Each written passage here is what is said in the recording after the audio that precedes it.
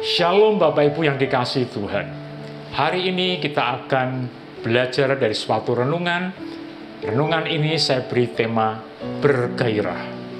Dalam dunia kepemimpinan Kristiani, kegairahan adalah salah satu nilai keutamaan yang membuat orang mampu melihat makna yang terdalam terhadap sebuah visi, misi, tujuan, dan sasaran hidup bagi seorang pemimpin berdasarkan visi, misi, tujuan, dan sasaran hidupnya itu, maka seorang pemimpin terdorong dari dalam untuk bekerja keras dan tetap terus bergairah untuk mewujudkan visi, misi, tujuan, dan sasaran itu.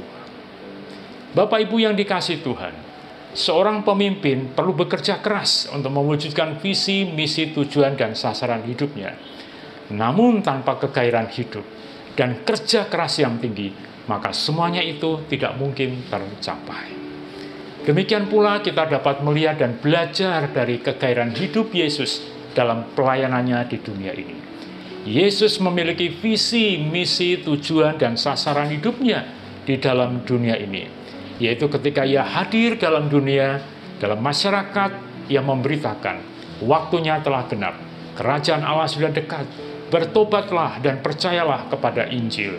Markus 1 ayat 14 sampai dengan ayat 15. Yesus bergairah karena memiliki visi, misi, tujuan, dan sasaran, serta tujuan dalam hidupnya. Selanjutnya dengan kegairahan itu, Yesus mencari orang-orang dan menjadikan murid-muridnya. Dan Yesus melatih murid-muridnya untuk membantu dan bekerja untuk mewujudkan visi, misi, tujuan, dan sasaran yang ingin dicapai. Yesus mendidik dan melatih mereka, sehingga kurang lebih setengah, tiga setengah tahun, Yesus bekerja dan melatih mereka untuk menghadirkan kerajaan Allah, mulai dari Galilea sampai Yudea dan Yerusalem. Lukas pasal yang ke-9 ayat 51. Bapak Ibu yang dikasih Tuhan, marilah kita terus tetap bergairah meskipun kondisi kita saat ini mengalami kesulitan karena pandemi virus corona. Namun tetaplah terus bergairah karena roh kudus yang ada dalam diri kita senantiasa mendorong dan memberikan spirit kepada kita.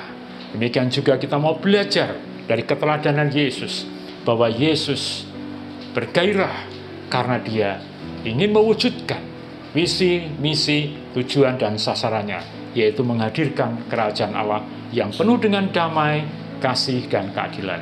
Tuhan kiranya tetap memberkati kita dan jadilah pengikut Tuhan dan tetap bergairah di dalam Tuhan. Tuhan memberkati kita sekalian. Amin.